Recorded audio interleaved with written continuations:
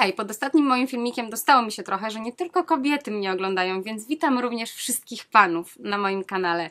Dzisiaj przetestuję sobie trochę nowości. Będzie tego sporo, bo mam nowy podkład, nowy dla mnie.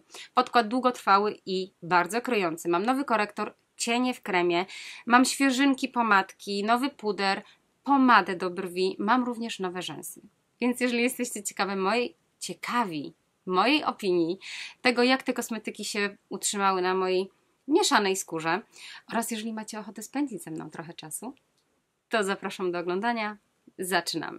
Oczywiście, jeżeli spodoba Wam się odcinek, to zostawcie łapkę w górę, zostawcie komentarz, zostawcie subskrypcję, a my zaczynamy. Zacznę od nałożenia podkładu i dzisiaj moim podkładem będzie Can't Stop, Won't Stop od NYXa i to nie jest żadna nowość na rynku. Mnie natomiast ten podkład ominął, ominął mnie szerokim łukiem, ja go nigdy nie testowałam. To jest podkład kryjący, długotrwały, nieścierający się, dedykowany skórom mieszanym bądź tłustym. Kilka razy już go nakładałam, więc to nie będzie moje pierwsze wrażenie. Mam dwa odcienie. Jeden będzie zdecydowanie za jasny, drugi jest za ciemny, więc pomieszam te dwa.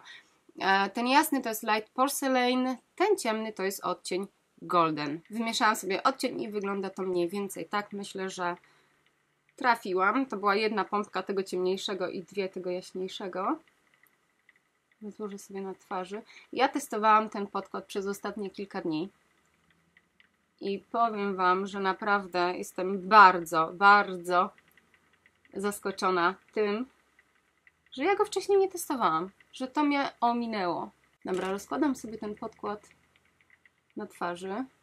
Zobaczcie, jakie ono ma krycie. Jest to podkład, który bardzo szybko zastyga, więc muszę pracować z nim szybciutko.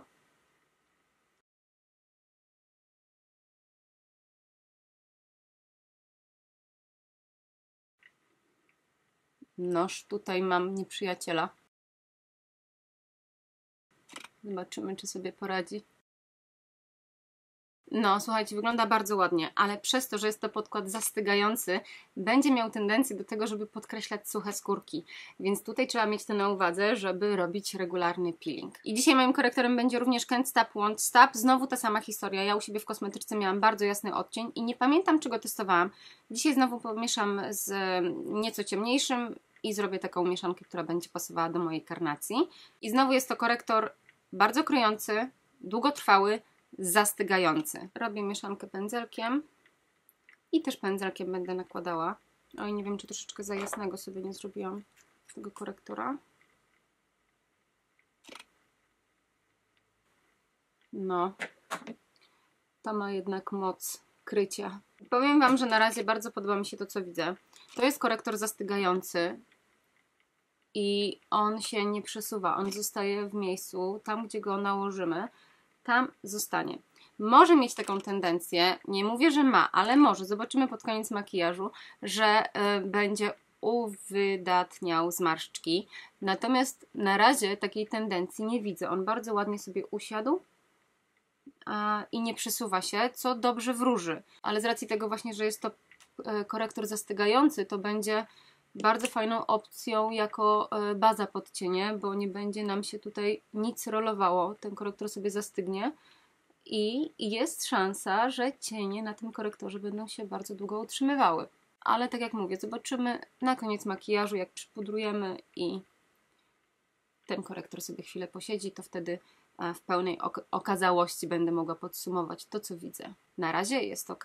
Dobra, przejdźmy do pudru i mam nowość e, Natural Beauty od marki Bell. Kupiłam w Biedronce. To jest puder sypki z olejem arganowym, puder matujący. I ja już go używam, słuchajcie, od dobrych kilku tygodni. I powiem Wam, że jestem naprawdę zachwycona e, rezultatem, jaki można uzyskać dzięki temu pudrowi. Używam go również na powieki, używam go również pod oczy.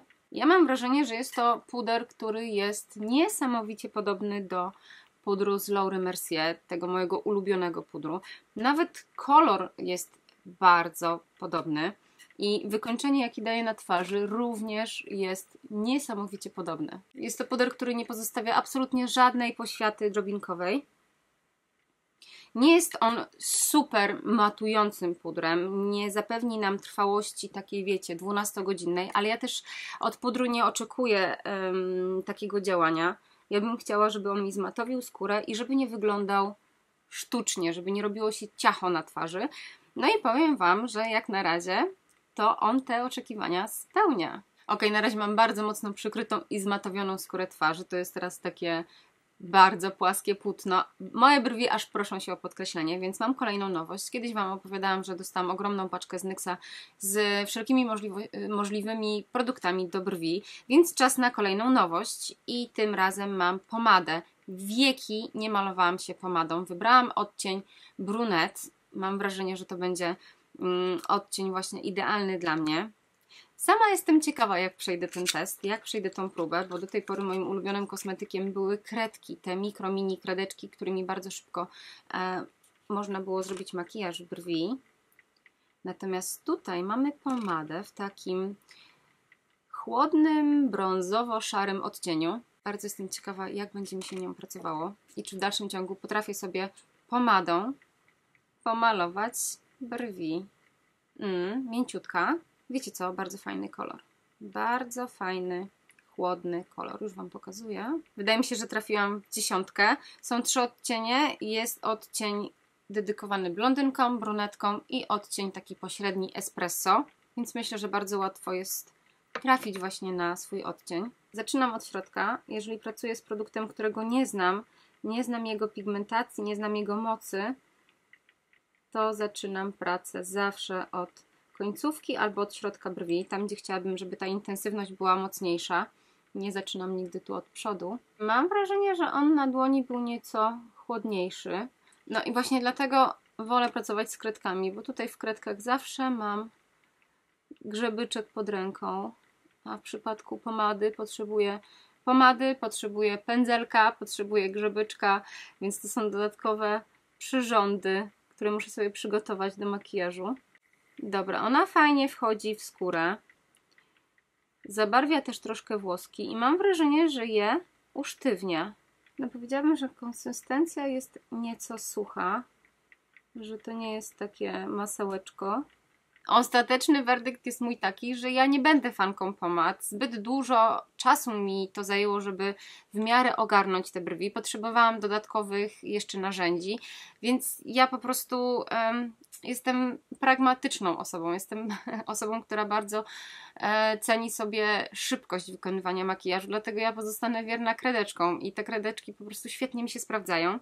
Um, na tą pomadę potrzeba jednak zbyt wiele czasu, żeby sobie e, brwi w jakikolwiek sposób ujarzmić. Niemniej jednak doceniam to, że one pozostają w, e, wiecie, w takiej fajnej formie usztywnionej. Wyczyszczę sobie jeszcze tutaj obszar pod brwią.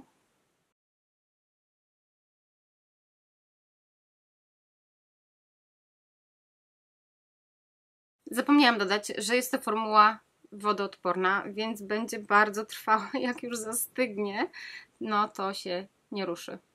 Przy brązowie się nieco, ale tutaj nie mam żadnych nowości. To jest Lili Lolo, odcień Honolulu. Uwielbiam ten produkt. To jest takie masełko, cudownie się rozciera na skórze, nie tworzy plam i wygląda bardzo naturalnie. Jako rozświetlacza używam Inglota odcień 153.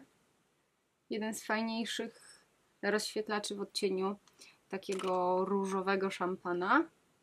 Dobra, baza jest zrobiona, więc czas na makijaż oczu. Mam tutaj dwie nowości.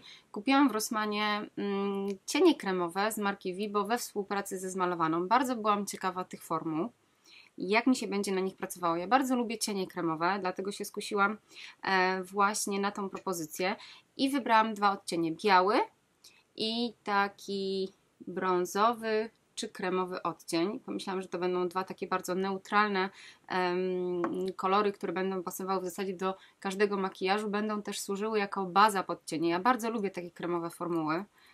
Niestety nie wiem, co to są za odcienie, bo nigdzie tutaj nie mogę się doszukać numerka. Biały to wiadomo, biały, ale ten brązowy to nie wiem, jaki to jest odcień. Musiał być na folijce, którą już e, usunęłam ale zobaczcie, na powiekach nic mi się nie zrolowało. To naprawdę bardzo dobrze świadczy o korektorze.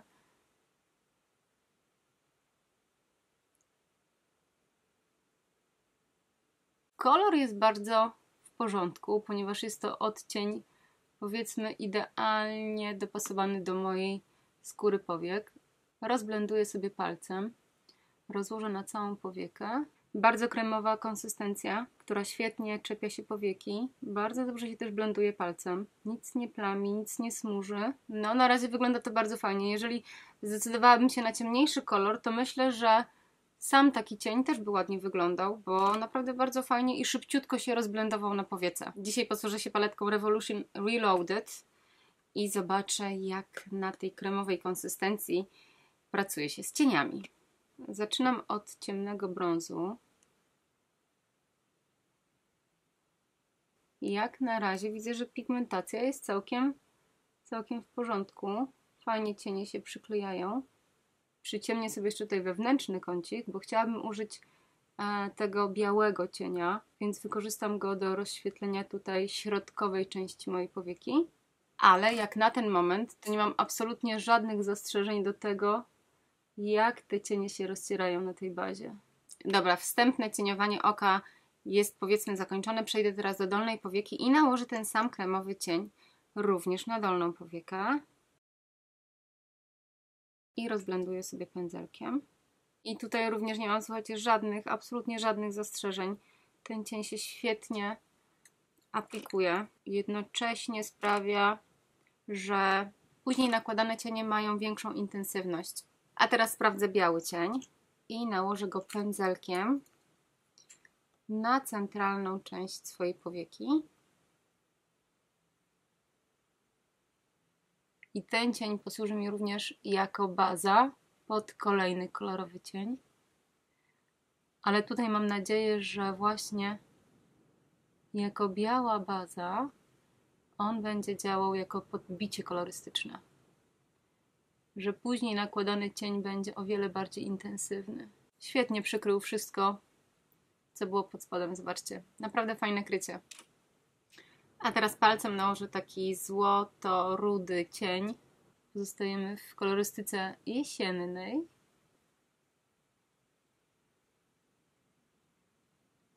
Chociaż ten cień tutaj nie jest jakimś najbardziej błyszczącym cieniem na świecie, to myślę, że na tej bazie i tak wygląda zacnie. Dobra, makijaż oka powiedzmy, że jest w 90% skończony, zostały jeszcze rzęsy. Natomiast e, jeżeli traficie na te produkty w Rossmanie, to myślę, że warto się skusić. E, ja zainwestuję jeszcze w kolejne odcienie, bo naprawdę bardzo przyzwoity, bardzo fajny produkt w atrakcyjnej cenie. A nie dokończyłam makijażu oka, ponieważ mam do przetestowania rzęsy. Zamówiłam sobie rzęsy z klawier. Byłam strasznie ciekawa właśnie tych rzęs. Mnóstwo pozytywnych opinii słyszałam na temat tych rzęs. A zaciekawił mnie najbardziej model Duo. Model Duo to są rzęsy w kępkach i kępki ja najbardziej lubię. Uważam, że wyglądają najbardziej naturalnie. Ale duo to jest właśnie, mm, to jest taka kępka, która jest bardzo mięsista, która jest bardzo obfita, więc w mega szybki sposób możemy stworzyć sobie bardzo dużą objętość na rzęsach.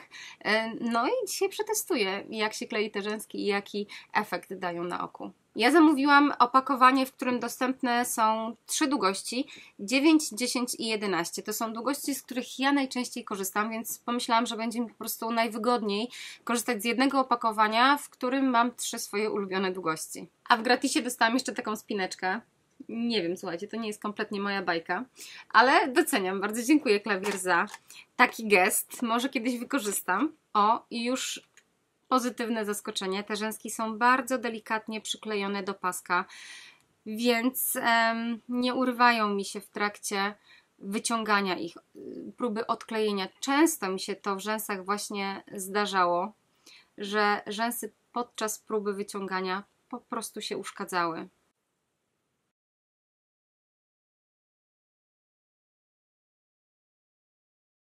Dobra, na razie mam trzy jedenastki. Przykleję jeszcze jedną i zejdę do dziesiątek. Dobra, rzęsy przyklejone i powiem Wam, że Praca przebiegła bardzo sprawnie i bardzo szybciutko. Przykleiłam tylko po 7 rzęsek na każde oko. Zobaczcie, jaki mały ubytek jest w e, opakowaniu. E, I uzyskałam pełen wachlarz, więc naprawdę super szybka praca z tymi kępkami. Nie do końca jestem przekonana, jeżeli chodzi o skręt, bo dla mnie one są za mocno wywinięte. Ja nie lubię aż tak mocno wywiniętych rzęs, dlatego też zamówiłam inny model i ten model nazywa się V-Shape. To są rzęski, które nie są już tak bardzo obfite, one nie są już tak gęste, e, natomiast właśnie ten skręt jest delikatniejszy. Jestem ich strasznie ciekawa. Pora na ostatni element tego makijażu, czyli usta. Mam 8 nowych odcieni pomadek od Bourjois i pomadka nazywa się Rouge Velvet Ink i to ma być bardzo trwała, bardzo kremowa i bardzo napigmentowana pomadka.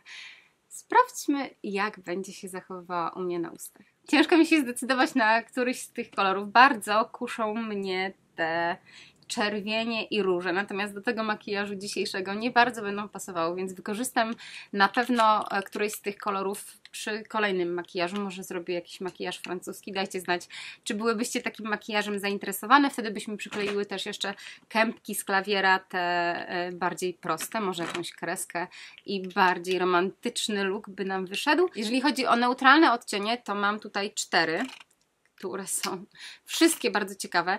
Ten natomiast przemawia do mnie najbardziej. Zobaczcie, jaki ładny jest ten odcień. Żeby natomiast usta nie były zbyt blade i zbyt mało zdefiniowane, zmieszam te dwa odcienie. O, i tutaj pierwsze zaskoczenie. Bardzo dziwny aplikator. To jest taki patyczek, zobaczcie. Myślę, że będzie precyzyjny.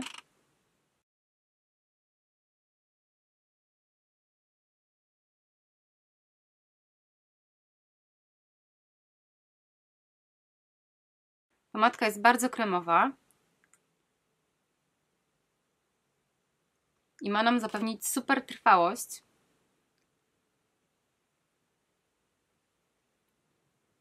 Dość przyjemnie pachnie. I rzeczywiście ten aplikator jest poręczny. Tutaj możemy sobie wyrysować kształt ust, a przekręcając go w bardziej pionowy sposób, aplikujemy na większą powierzchnię, więc to jest spoko dla mnie. Jest bardzo intuicyjne. Dołożę teraz trochę tego chłodniejszego odcienia.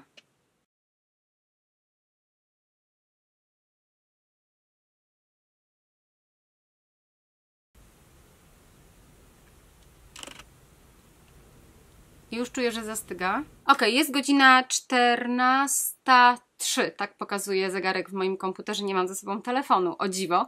14.03, e, wrócę do Was za kilka godzin, podsumujemy sobie trwałość tych kosmetyków. I podkład, zobaczcie jak on ładnie wygląda. Jeżeli chodzi o korektor, to zobaczcie, on się nigdzie nie zgromadził. Wygląda troszkę sucho, ale nie uwydatnił zmarszczek. No, podkładem jestem zachwycona. Tu jest mój mały nieprzyjaciel.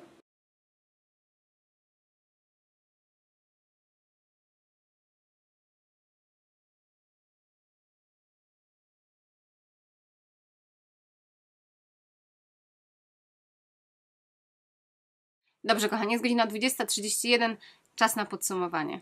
Jeżeli chodzi o podkład, to nie wiem, czy Wam mówiłam, ale ja testuję ten podkład już od kilku dni, e, tak żeby mieć wyrobioną opinię już i e, żebym nie przyszła do Was z takim pierwszym wrażeniem, ponieważ uważam, że jest to podkład, który naprawdę warty jest uwagi. I za każdym razem wieczorem, kiedy zmywałam makijaż i patrzyłam na swoją twarz e, jeszcze w makijażu, to zastanawiałam się, dlaczego ja jeszcze go do tej pory nie przetestowałam, bo przecież to jest tak fajna pozycja. To jest naprawdę podkład, który utrzymuje się bardzo ładnie na twarzy, który utrzymuje mat, który bardzo ładnie kryje. Myślę, że będzie to propozycja dla osób, które mają tłustą, mieszaną skórę i właśnie poszukują tego matu, właśnie poszukują tego krycia i tej długotrwałości. Więc uważam, że naprawdę podkład jest trafiony.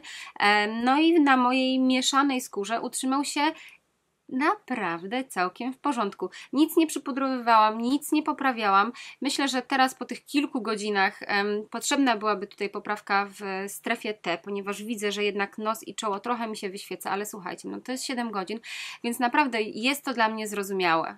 Oprócz tego, że starł mi się odrobinę tutaj z nosa, nie wszedł mi w zmarszczki e, nosowo-wargowe. Nie wszedł mi zmarszczki tutaj między brwiami ani na czole, gdzie podkłady naprawdę potrafią mi się tam zgromadzić i no nie wyglądać estetycznie. Więc ja jestem naprawdę na tak i uważam, że jest to propozycja e, warta uwagi dla osób, które właśnie szukają takiego wykończenia. Myślę, że kolejnym hitem tego odcinka to będą te kremowe cienie od Vibo we współpracy ze Zmalowaną. Naprawdę jestem pod ogromnym wrażeniem formuły, tego jak prosta praca jest z tymi cieniami, jak e, później cienie mm, prasowane bardzo ładnie pracują na tej bazie, e, jak się ładnie rozcierają, nic się tutaj nie gromadzi w załamaniach.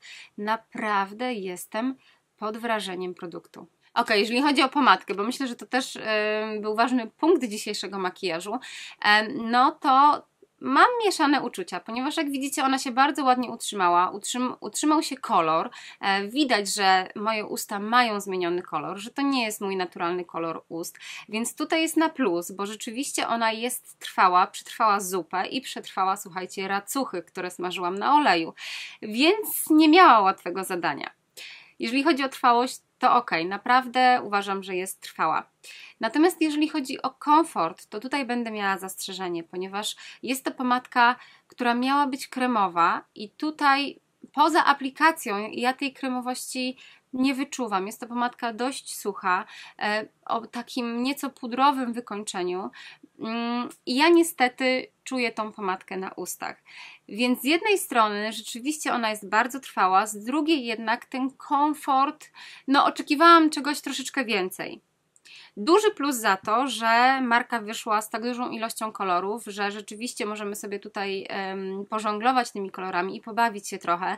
E, są fajne, nasycone odcienie. Znajdziemy też coś e, z odcieni nudziakowych, więc myślę, że dla każdego coś miłego. Ok, drogie panie i drodzy panowie, to już koniec testu na dzisiaj. Mam nadzieję, że odcinek Wam się spodobał. Jeżeli tak, to oczywiście zestaw obowiązkowy. Zostawcie łapkę w górę, zostawcie komentarz i zostawcie subskrypcję. A za dzisiaj Wam już bardzo gorąco i serdecznie dziękuję. Do zobaczenia. Buziaki. Pa!